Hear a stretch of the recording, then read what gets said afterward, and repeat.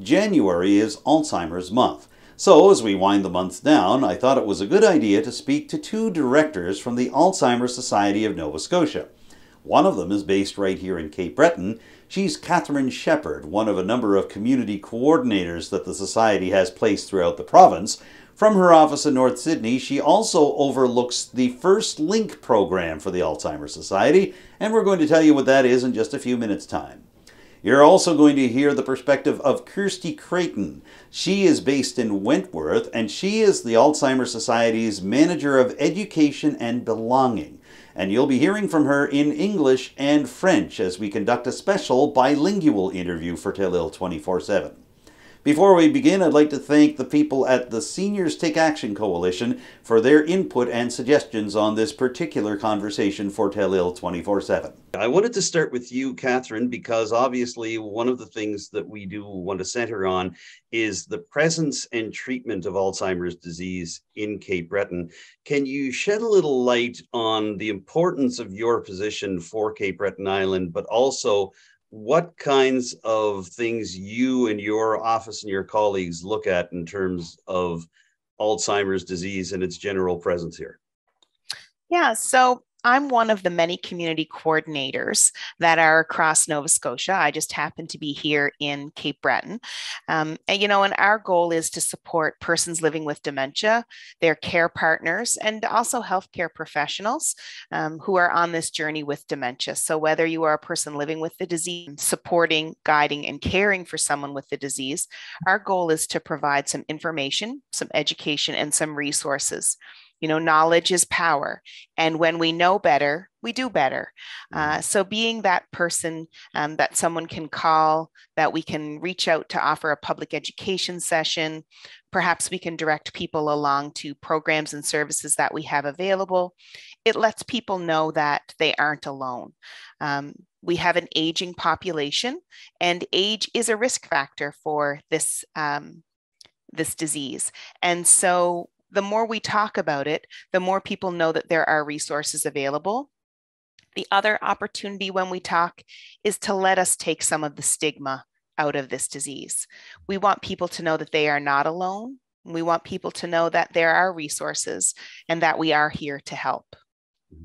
So let's pick up on that a little bit. And one of the reasons that I wanted to have the two of you in today was to speak about the education and the destigmatization, as you mentioned, of Alzheimer's disease, but also busting some myths about Alzheimer's. And one of the things I really did want to talk about, you mentioned the aging population. We feel that here in our part of Cape Breton in Richmond County and the General Strait area.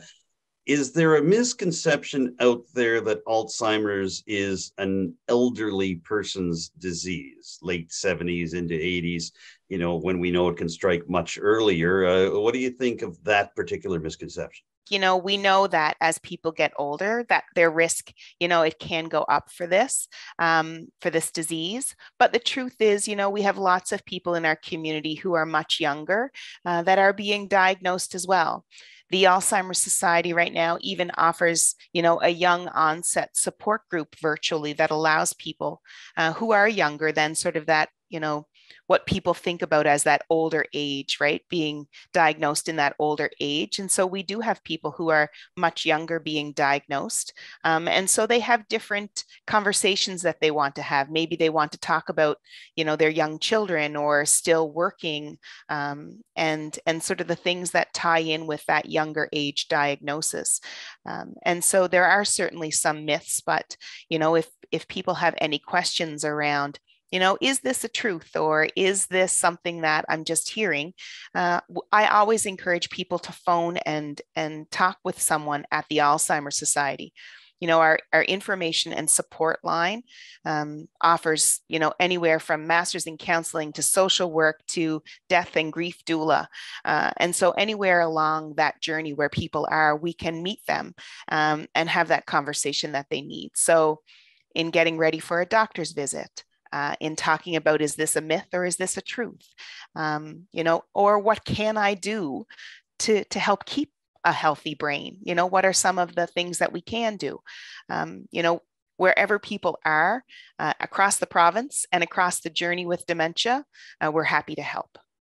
Can I pick up on one point you made just a moment ago, the idea of a death and grief doula? And I think some of our viewers might be aware of the presence of doulas for the delivery of babies. But can you explain how that process works in terms of death and grief and the later stages of Alzheimer's and dealing with that for families? Yeah, so I think it's really important that we make a little distinction here to say that, you know, grief and loss um, don't just happen at the end of this journey. We have people um, who are facing what we call ambiguous loss and ambiguous grief uh, as soon as a diagnosis is made. And what I mean by that is, you know, physically the person is still here, um, but they're changing.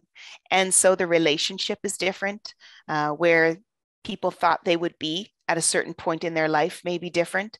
And so those feelings of guilt and grief and loss are very common um, along along this journey. And it's not just sort of at the end. So helping people understand that those are normal feelings um, letting people know that it's okay right to feel this way uh, and support them across that is really important. And so that's why when we talk about grief we don't just talk about it at the end of a journey. We talk about mm-hmm. it, you know, as ambiguous loss throughout the course of a of a diagnosis.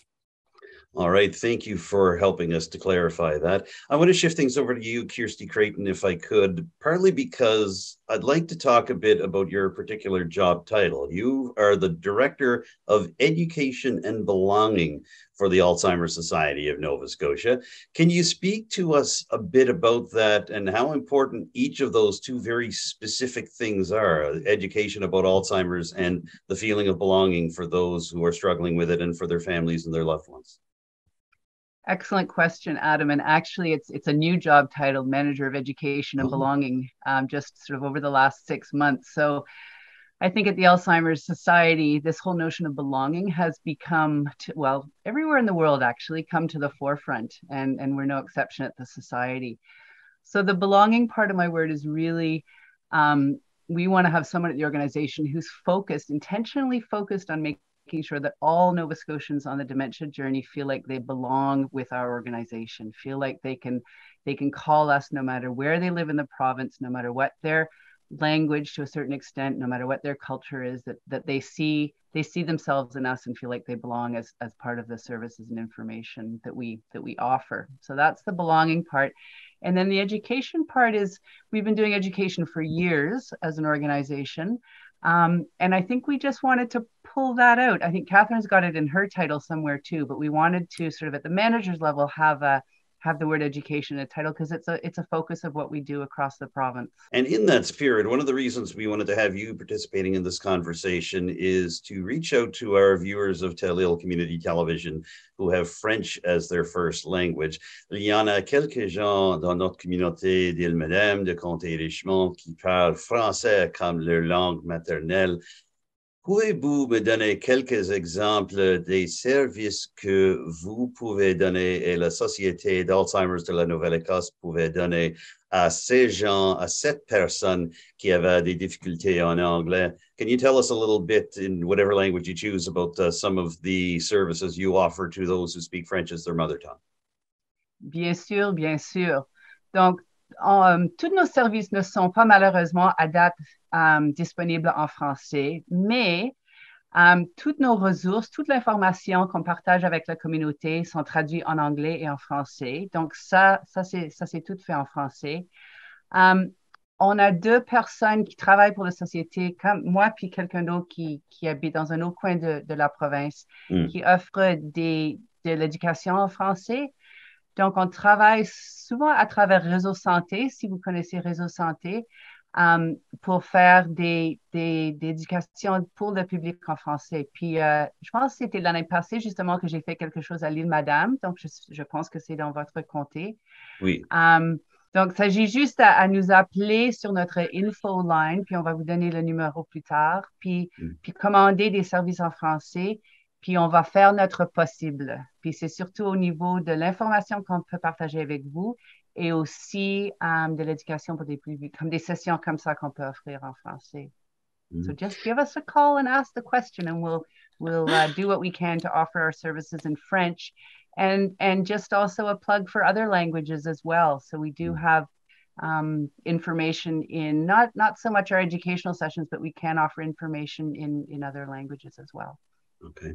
Uh, just quickly, any services available in indigenous languages such as Mi'kmaq? Is the Alzheimer's Society reaching out to those communities as well? So I've been working for the past number of years, uh, mainly with our communities in Cape Breton, uh, because that is my home base, but across the province as well. We've had connections across the province as well. Uh, and we've been able to create, um, you know, some culturally relevant and respectful materials in collaboration with our communities, with the communities of Cape Breton and Nova Scotia. Um, we've created a, a, rack card, a specific rack card that is available. Uh, we've also been able to modify a, a product that was called originally the uh, all About Me, and the All About Me with um, collaboration from the First Nations communities. Uh, we created what's now called The Story is Mine. And so, what that booklet does is it allows people to tell the story of who their person with dementia is. It then allows um, that family or connect to take the story is mine book um, into other areas where that person with dementia may be staying being supported you know whether it's acute care or long-term care. And it allows those that are caring for them to know a little bit about who they are what they like what they don't like what their normal routine is.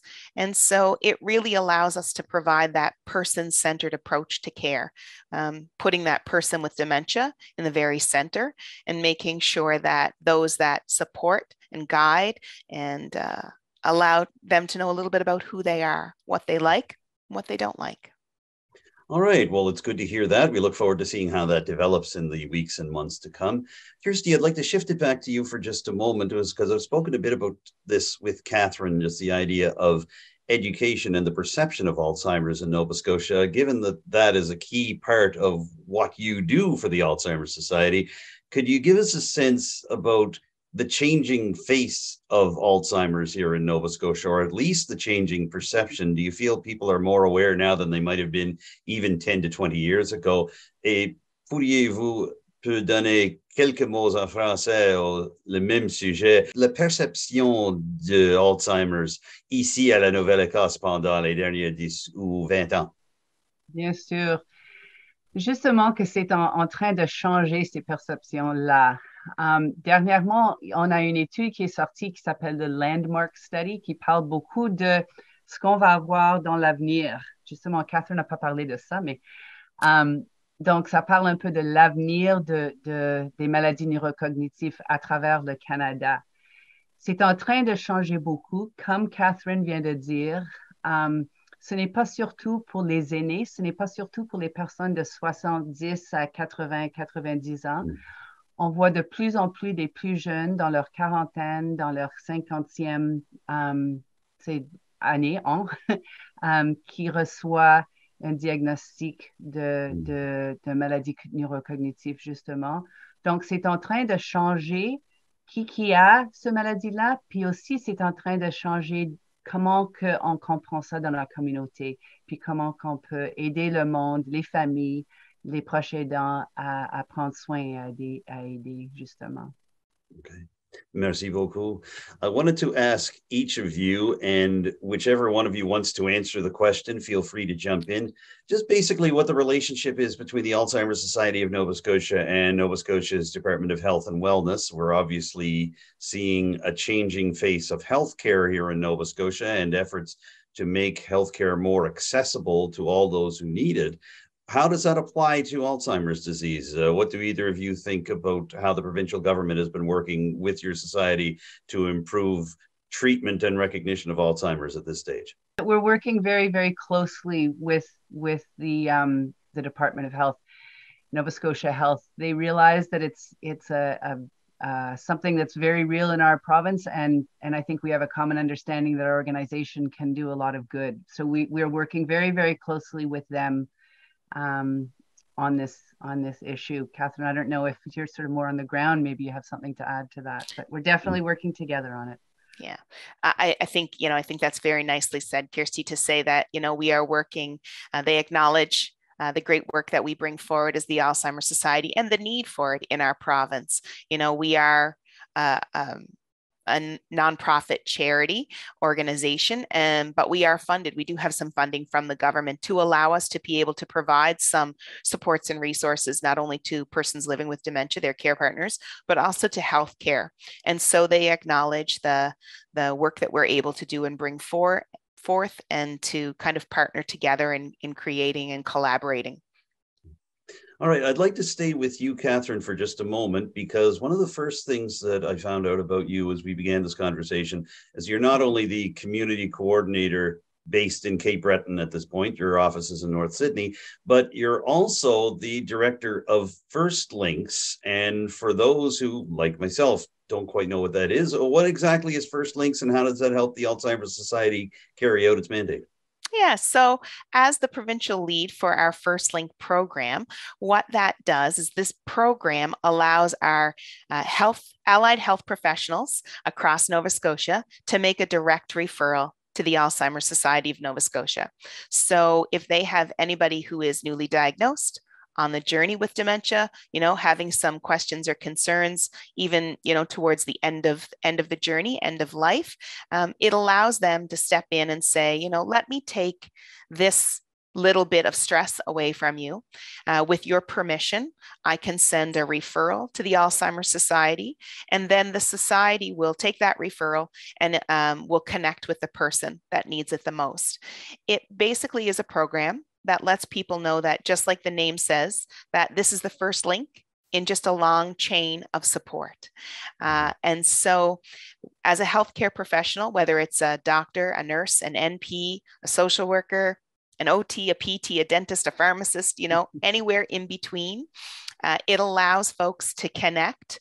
Um, and it takes the onus off the person who already has a really full plate uh, to connect with supports and resources. Mm. You know, one of the things that we hear when people connect is, I wish I had known about you sooner. And by a health professional making that referral, what we have found is people connect to the society about 11 months sooner. Mm. And when we stop and think about 11 months, and for somebody who is, you know, struggling to understand, trying to figure out what to do next, um, worrying about what may happen, 11 months is a really long time to live in that. And so, as a health professional, being able to take that off of somebody's plate, right? I can see there's stress or distress. Let me take that off your plate and let me put this onus on someone else now. You don't need to worry about a number. You don't need to worry about making a phone call. You don't need mm. to worry about any of that. Someone else is going to do that for you. So, as a health professional, this First Link program simply allows you to connect uh, your client, your patient to our services, uh, mm. as long as you have their permission. If you view our website, people will often say, Well, how do we do that? And I say, Well, head to the Alzheimer's Society of Nova Scotia website. And if you, it's a pretty easy website. It's a click and, and point and, you know, it's, it's easy. The nice thing to know though, it is evidence and research based. Um, you know, we all use Google, but sometimes we don't come across the, the best resources by connecting into our website, it will connect you not into the supports and resources available, but also information about the First Link program and the referral form that's there. You know, I, I jokingly say I've been in healthcare 23 years of my life. And um, when people say referral forms, I kind of shudder. Uh, but this is probably one of the easiest referral forms I've ever seen. It's so easy to fill out. You can fill it out online, you can email it to us, or you can fax it to us. And mm-hmm. so it's a nice, easy way to connect as well. That all sounds very efficient and very easy to use. Uh, you knew I was going to ask this question. Is the program available in French? I'll say it in English first, just sure. To, so, so the the info line where the first contact is made is not available in French at this point. Um, but if someone is calling and really requires a service in French, we can begin the conversation in French. Donc, on peut commencer la conversation en français. Malheureusement, jusqu'à date, tous nos services, le service de Infoline, comme on vient de parler, n'est pas disponible en français. Mais c'est sûr qu'on peut au moins commencer la conversation en français, le soutenir avec des ressources en français et dépendant de vos besoins, ça se peut que ça pourrait continuer en anglais à cause de l'expertise de, de, de, mes collègues. Um, mais pour dire qu'on peut le commencer en français, bien sûr. We've covered a lot of ground in a short time, as I thought we might. Uh, is there anything that either of you would like to add about this, uh, particularly as we move out of Alzheimer's Month here in January and, and look to the future? Uh, any final thoughts just before we close? So, one of the things I will say is no matter where you are on this journey, whether you've just been diagnosed, um, you know, or whether you've been living with this disease, or whether you're just, you know, looking to know more, wanting to know more about what I can do, what modifiable risk factors that are, you know, we can talk about to keep a healthy brain, call us. We're only a phone call away. We have um, all kinds of resources and education materials. We have trained staff that can support and talk over the phone. We can mail information out, but we also have tons of events that are happening that are either in person or what we call a hybrid world, which is virtual and in person. One actually happening on the evening of January 20, uh, sorry, January 31st, tomorrow night. Mm-hmm. Um, and so if people want to attend a support group, if they want to come out and, you know, uh, attend a, a, public education session, if they would like to learn more about Artful Afternoon, which is a program that happens uh, through the society, all they have to do is call and we can, um, you know, talk through what's available, let them know what's in their area. Um, if they do want to attend something virtual and they're a little unsure with how to do that, we can support that as well. And so it all starts with a phone call. Uh, our phone number is 1 800 611 6345. And we're just a phone call away. Kirstie, le dernier mot est à vous. The last words to you, uh, whatever language that last word happens to be in. Uh, any final thoughts? Je suis chanceux. Juste pour dire, just to say, no matter what your language, no matter what your culture, no matter where you live in the province, um, nous on travaille pour, pour soutenir, pour aider toutes les néo-écossais. So we're here to help all Nova Scotians on the dementia journey. So feel free to call us. All that Catherine just said stands true. And if um, we need to make accommodations or alterations to our programs to meet your cultural linguistic needs, we will do that. Well, it's been a great pleasure to speak to the two of you, and we want to thank you for giving us some time in each official language of Canada to discuss Alzheimer's disease and also the services of the Alzheimer's Society. Thank you so much, Catherine Shepherd and Kirstie Creighton, for joining me on Telile 24 7 today. Thank you so much for the opportunity. Thank you, Adam. Catherine Shepherd is a community coordinator based in North Sydney. She is also the provincial lead for First Link for the Alzheimer's Society of Nova Scotia and Kirstie Creighton is based in Wentworth. She is the manager of education and belonging for the Alzheimer's Society of Nova Scotia. We've been speaking to them via Zoom, and we thank the participation of the Seniors Take Action Coalition for helping us to prepare for this panel discussion.